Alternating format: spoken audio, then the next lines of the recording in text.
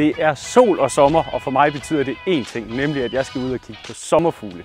Jeg er taget til Mols, fordi det er en af de steder i Danmark, man kan finde flest arter af dem. Så lad os tage ud og finde nogle sommerfugle, og velkommen til Naturen Danmark.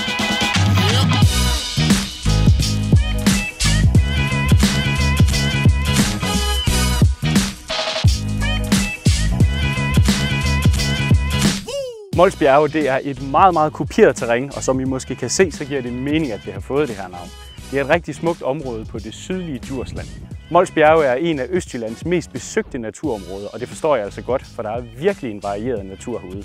Der er overdrev, der er moser, der er små søer, og så er der ikke særlig langt til kysten. Men nu tror jeg altså, det er ved at være tid for, at jeg skal ud og finde de der sommerfugle, for jeg kan se, de sværmer rundt over det hele heroppe bag ved mig.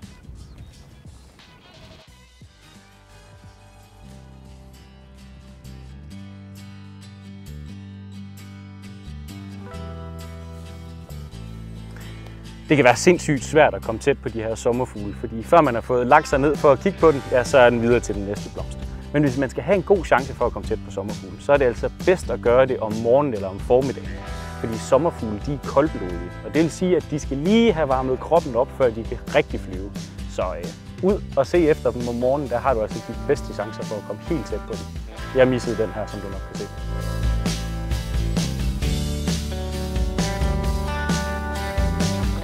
Sommerfugle de kommer i mange forskellige farver og aftegninger. Det her det er en sortåret hvidvinge. Jeg synes altså, den er utrolig smuk med de her helt hvide vinger og så sådan nogle sorte aftegninger ned igennem. Mange tror, at det er sommerfugles støv, og det kalder man det også normalt, men i virkeligheden så er det faktisk en form for skæld, den har ude på dens vinger, der giver dem de her smukke farver.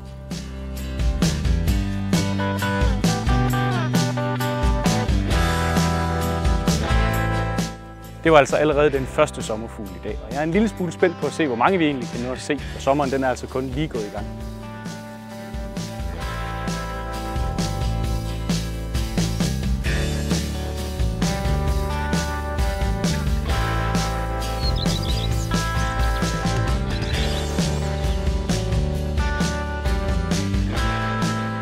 Ja, selvom vi er ude for at kigge efter sommerfugle, så er der altså altid lige plads til at kigge på en fugl. Det her det var en fin lille rødstjert med det her smukke røde bryst.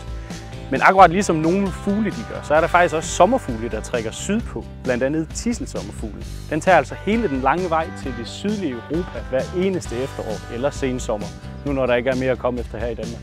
Det synes jeg det er ret imponerende, når man tænker på, at det er sådan en lille bitte sommerfugl, der ikke vejer ret mange gram. De fleste sommerfugle de overlever altså ikke ret meget mere end til sensommeren, nogen lidt hen i efteråret. Men der er altså enkelte undtagelser, som for eksempel Nellens takvikken, dagpåfugleøje og citronsommerfugle. De har nemlig alle tre fundet en måde at overleve de danske vintre på. Hvis man kigger godt efter, så kan man faktisk en gang imellem finde de her sommerfugle i ens carport, eller måske oven på ens huses loft, for der sidder de samtidig og putter sig vinteren igennem.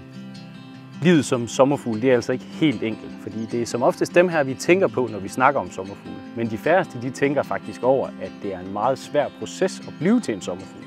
Fordi sådan en som den her, den har måske allerede lagt æg. Og de her æg, de bliver så senere til larver. Og de her larver, de lever et fint liv rundt omkring på nogle planter i et godt stykke tid, før de så forpupper sig. Og i virkeligheden, så lever sådan en sommerfugl her langt det meste af dens liv som enten æg, larve eller puppe. Og sådan en sommerfugl her, de overlever for mange arters vedkommende ikke ret meget længere end et par uger i løbet af sommeren. Måske en hel måned, hvis man er heldig.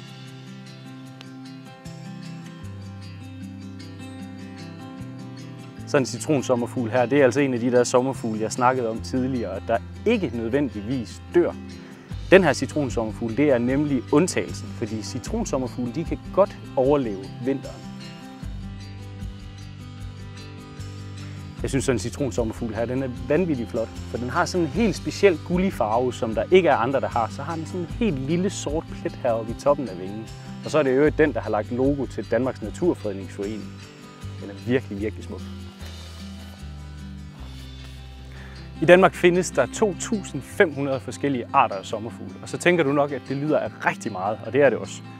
Men altså, de fleste af de her sommerfugle, de er faktisk nataktive, og det er nogle af de dyr, vi kalder for natsværmer, og nogle kalder dem også for møl. Men det er altså sommerfugle, akkurat ligesom dem, man ser her i dagtimerne. Af dem, man ser sådan flyve rundt om dagen, jamen der er der altså cirka 75 forskellige arter i Danmark. Og hvor der er en regel, der er der altså også en undtagelse. For der er den natsommerfugl, der hedder blodplet, som på trods af, at det er en natsommerfugl, kun er aktiv om dagen. Det giver ikke altid mening i det der biologi.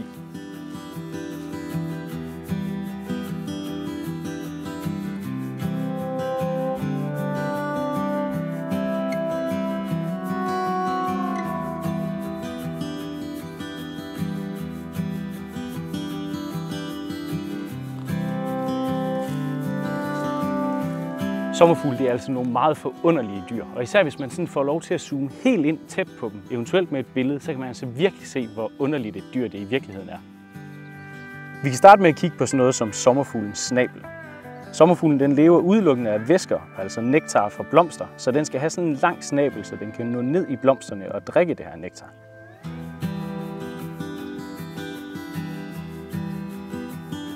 Når sommerfuglen den har tømt blomsten for nektar, ja, så ruller den altså snablen sammen igen og er klar til at flyve videre til den næste blomst. Som du kan se, så har sommerfuglen meget store øjne, men de her øjne de består rent faktisk af mange små øjne, der sidder helt tæt ved siden af hinanden. Sommerfuglen reagerer meget fint på bevægelse. Den kan altså både se fremad, bagud og til siderne. Derudover så har sommerfuglene et spektrum af ultraviolet lys, som ikke er synligt for os mennesker. Det er altså de forskellige blomster, der udsender det her lys, som sommerfuglene kan se. Og det er blomsternes måde, hvorpå de siger til sommerfuglene, at de skal komme og tage deres nektar i bytte for pollen. Men det her ultraviolette lys, det bruger sommerfuglene altså til flere ting. Fordi det er nemlig også deres måde at genkende hinanden på. Hver art af sommerfugle har altså et forskelligt ultraviolet lys, samtidig med at hver enkelt art de har deres helt eget mønster og egne farver. Det er altså vældig smart, når man skal ud og finde en ny mage. En gang imellem kan man se to sommerfugle, der flyver rundt, hvor det ser ud som om, at de leger. I virkeligheden er det som oftest, fordi de prøver at finde ud af, om der var en mulig mage i den anden. Og hvis man er rigtig heldig, så kan man også se to sommerfugle, der sidder og parer sig. Noget andet lidt fascinerende ved sommerfugle, det er altså, at de kan bruge deres fødder til at smage med. Det vil sige, når de sætter sig på en blomst, så kan de lige bruge fødderne til at vurdere, om det er værd at sætte snabel i de her blomster. Jeg må nok sige, at jeg er lidt glad for, at jeg ikke jogger rundt i min mad, før jeg skal smage på den. Det synes jeg lyder lidt ulækkert. En af de tidligste sommerfugle, man ser i Danmark, det er Aurora. Det er den her smukke sommerfugl, hvor hannerne de er hvide med en orange overvinge, og hunderne de er helt hvide. Men på undervingen, der har de sådan en sjov grønlig kamuflageagtig mønster. Auroraen det er en af de tidligste sommerfugle, vi har, og derfor er det også en af de allerførste, der dør. Den har altså allerede nu lagt æg, der ligger på en eller anden blomst derude.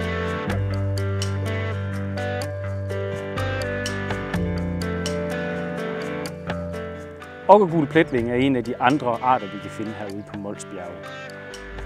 Den er orange, og på oversiden er den omgivet af sorte streger, og på undersiden af hvide streger.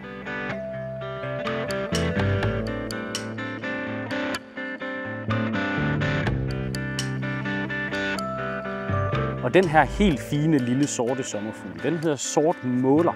På engelsk hedder den faktisk chimney sweeper, altså oversat til dansk skorstensfejer.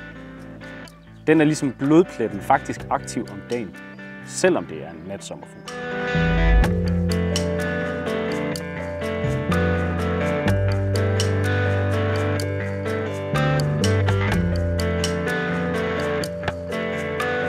Det her det er den lille ildfugl. Den har nogle meget anderledes vinger, og den flyver enormt stærkt, når den vimser rundt efter planter.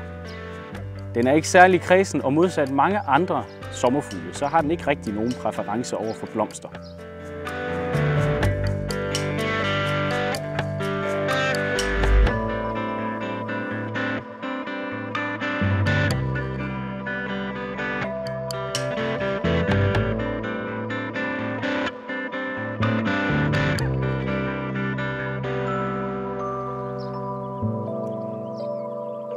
Der er en del af de danske sommerfugle, der ligner hinanden rigtig meget. Det gælder især den familie af sommerfugle, der hedder blåfugle. Det her er vi næsten sikre på er en rødplettet blåfugl, som er helt vild med sådan nogle tørre arealer, som der er mange af her i Molsbjerget.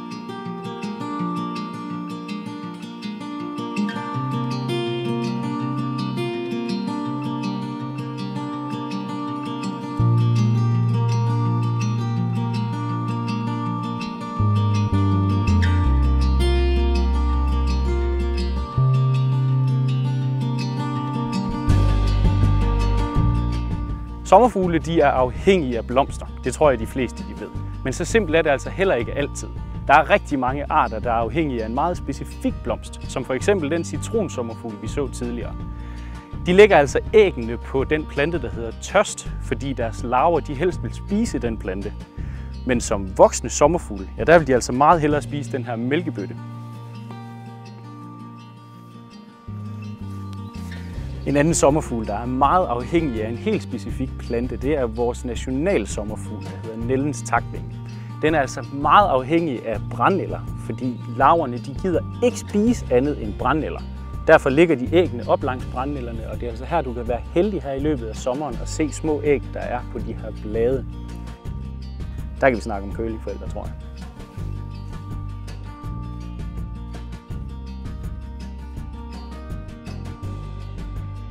Som sagt tidligere, så er det her landskab i Mols Bjerge meget varieret. Og i en af de her skovområder, der har jeg fundet den sommerfugl, der hedder skovrandøje. Den holder sig altså til sådan nogle af de her løvskove, der er rundt omkring i Danmark. Og den er næsten i hele landet, med enkelte undtagelser. Det er kun på Bornholm og nogle dele af Vestjylland, man ikke ser den. Den er altså enormt fed med de her små øjne, den har på vingerne. Jeg har tidligere forvekslet sådan en her med en moserandøje. Den er altså lidt mere sjælden, så jeg troede egentlig, jeg havde fundet en meget sjælden sommerfugl. Men det var nu bare den her meget, meget hyppige skovrandøje. Men ja, fed det er den nu altså stadigvæk.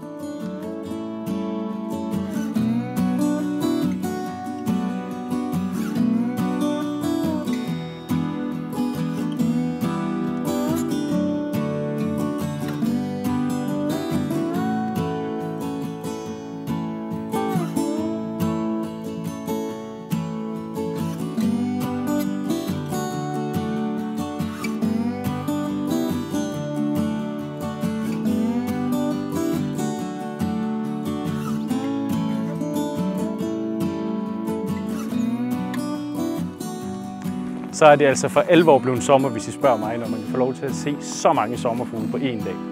Det her det endte med at blive lidt af en sommerfugle special, og skulle der være en eller anden anden ting, I synes kunne være rigtig, rigtig sjovt at få uddybet, så smid lige en kommentar hernede. Og hvis øh, ikke I allerede gør det, så kunne I også lige trykke subscribe.